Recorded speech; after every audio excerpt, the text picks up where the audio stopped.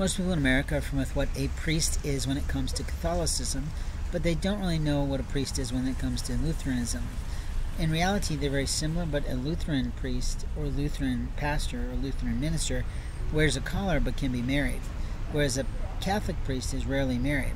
A pagan priest can definitely be married and sometimes thrice, but that's not the point. The point is that in life we have choices, and those choices bring about our life.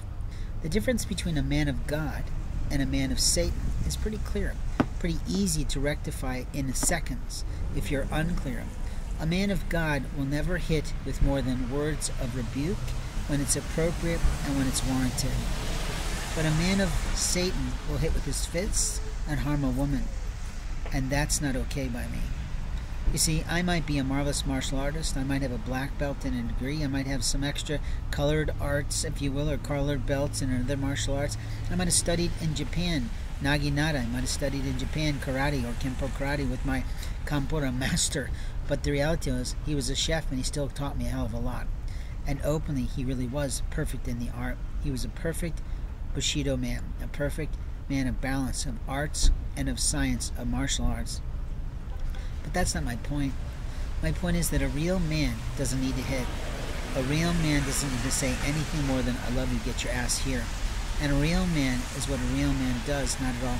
A real man is how he loves his wife, how he cares for his son, how he handles his business, and how he tries to care for as many people as he could. Notice I didn't rhyme with everyone, because I can't care for everyone. I'm simply caring for myself.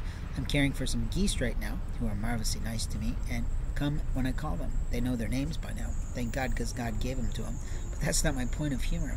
My point of humor is that you have the right to judge me. I'm not judging you, I'm observing you. And by observing you, I'm just telling you what I see.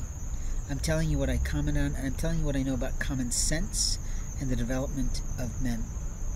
That I am a developer of men. Most of my students were young men. It's true. Most of the demographics I served were affluent. That is true. But openly, that's not the point. You see, you have to target the right people in order to have a longevity of a business. But please, don't come and play with an old man because I've seen just about everything I could possibly see in my own son. It wasn't the most marvelous time for me, but he's still mine, regardless of the fact of the passage of time.